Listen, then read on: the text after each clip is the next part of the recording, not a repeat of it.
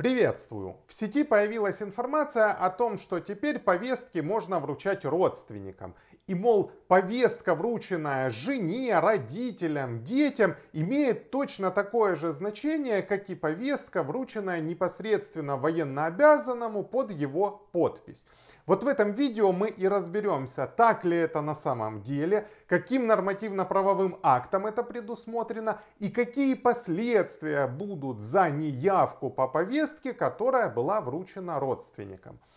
Итак, как мы с вами знаем, основными нормативно-правовыми актами, которые регулируют вопросы выдачи повесток, является закон о ВО и ВС, ну, закон о воинской обязанности и воинской службе, закон о мобилизационной подготовке и мобилизации и, конечно же, постановление Кабинета министров номер 1487.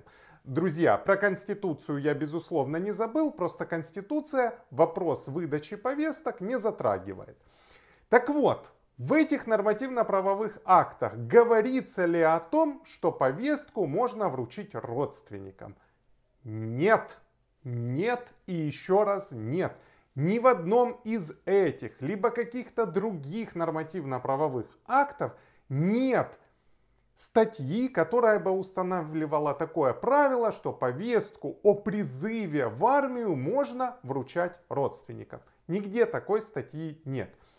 Нигде нет статьи с другой стороны и запрещающей это. То есть теоретически, в принципе, ну и фактически, да, повестка может быть вручена родственникам военнообязанного. Конечно же, мы с вами здесь должны вспомнить статью 19 Конституции Украины, в соответствии с которым государство, должностные лица этого государства должны действовать в четком соответствии с законом и способом, который предусмотрен этим законом. Соответственно, если законом не предусмотрено такой порядок вручения повестки, как вручение ее родственникам – то передавать повестку родственникам вы, в принципе, и не уполномочены. Что будет, если, например, вашей жене вручили повестку, да, для вас, то есть через вашу жену передали вам повестку. Жена забыла, ну, моделируем ситуацию. Вас не было дома, вы были на работе, или ходили в магазин, жена доброй души человек открыла дверь, взяла повестку – и забыла. И не сказала вам о том, что она расписалась за получение этой повестки.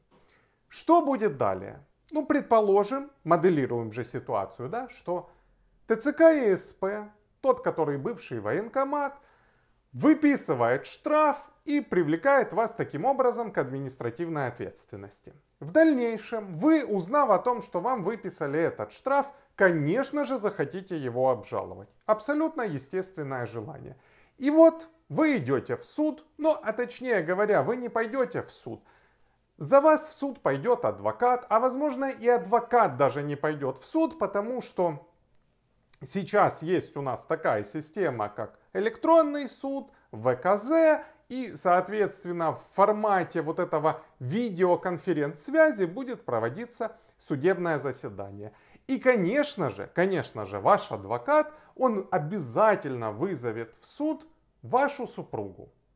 И поинтересуется, скажет, а расскажи, пожалуйста, дорогая, как же ж так получилось, что тебе повестку дали, ты за нее расписалась, вон же ж в материалах дела даже твоя подпись стоит, а ты своему супругу об этом не сказала. А жена говорит такая, что, мол, да, приходили, повесточку дали, но мне тут позвонила подружка. Говорит, заходи ко мне, винишко выпьем. Ну и я сразу пошла, повесточку положила в карман и пошла к подружке. Ну мы там выпили винишко, пошли гулять, туда-сюда, еще винишко выпили. Ну и, видимо, где-то я ту повестку и потеряла. И, конечно же, мы так хорошо гуляли, что я и забыла про ту повестку. И что будет за это ей? А ничего. Потому что ни в одном законе нет обязанности у вашей супруги, у ваших родителей, детей совершеннолетних принять повестку и сообщить о том, что они приняли эту повестку вам. Соответственно, супругу мы привлечь к ответственности не можем, потому что она ничего не нарушила, она же никакую свою обязанность перед государством не нарушила. А вас можем ли мы привлечь к ответственности? Ну, конечно же, нет, потому что обязательным элементом состава правонарушения административного должна быть вина человека. А чтобы вина была, человек должен был знать о том, что военкомат его вызывает. Вы, как законопослушный гражданин, конечно же, пошли в военкомат. Если бы вы знали о том, что они вас вызывают. Но жена, ух ты, какая нехорошая женщина. Как же ж ты могла мне не сказать? Ну не сказала она вам, ну забыла она об этом. И вы не знали о том, что ТЦК СП вас вызывает. И, конечно же, когда ТЦК СП будет вас вызывать повесткой, конечно же, вы пойдете. Но вы сейчас не могли пойти, потому что повестку не получали, а жена, ух, какая, не сказала вам об этом. И все. Вины вашей нет. А раз вины нет, то и привлечение к административной ответственности быть соответственно не может. И в этой ситуации приводим, приходим к такому выходу, что ни жена не понесет никакой ответственности, ни родители, да, дети, ну, не, в зависимости от того, кто возьмет повестку. Ни вы не можете понести никакой ответственности. И если такой штраф вдруг ТЦК и СП выпишет вам, то, безусловно, в суде вы легко его отобьете. Друзья, если вы считаете, что данное видео было полезным, поставьте ему лайк, подпишитесь на мой канал. Также подписывайтесь на мой телеграм-канал, ссылочка есть в описании к этому видео. Там есть полезная информация и очень интересное обсуждение многих новостей происходит. Напомню, что с вами был Олег Лукьянчиков, адвокат, кандидат юридических наук. Желаю вам удачи, благополучия и, конечно же, мира.